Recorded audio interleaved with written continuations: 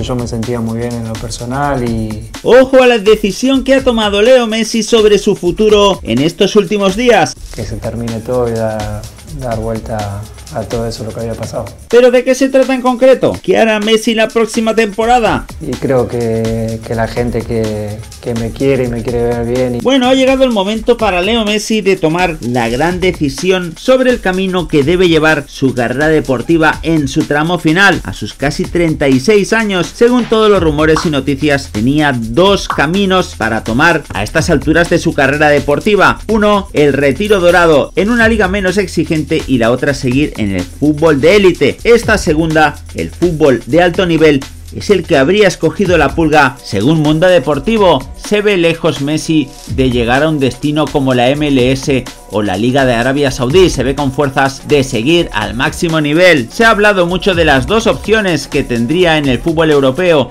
Primero la de seguir en el Paris Saint Germain y la otra de volver al Fútbol Club Barcelona y hacer su último baile en el equipo culé. Pero esta última opción está lejos de producirse por la penosa situación económica del club barcelonés. Pues bien, según Mundo Deportivo, como decimos, la opción prioritaria para Messi a día de hoy es la de seguir en el Paris Saint Germain. Y ojo a los detalles, y es que los dueños del club apostaron fuerte por él y tendría sentido que quisieran que se quedara a pesar de todo lo que ha salido en la prensa francesa sobre las supuestas intenciones de Luis Campos, director deportivo, de prescindir del propio Messi y de Neymar para ajustarse al fair play financiero y apostar totalmente por Kylian Mbappé. Mucho se ha también de la reunión que tuvo Jorge Messi con la Porta, pero la relación entre el propio Messi y el club culé solo se limita a un posible homenaje que se merece la pulga por toda la trayectoria legendaria que ha tenido durante prácticamente toda su carrera deportiva en el Camp Nou. Messi ha presentado credenciales suficientes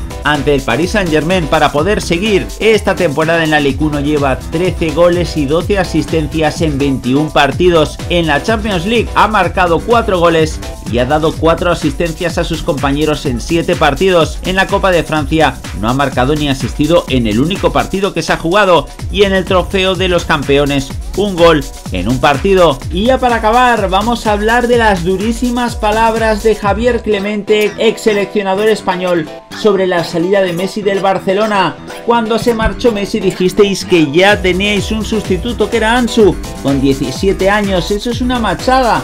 Lo forzasteis a este chaval, le hicisteis titular con 17 años, es muy joven para darle la responsabilidad.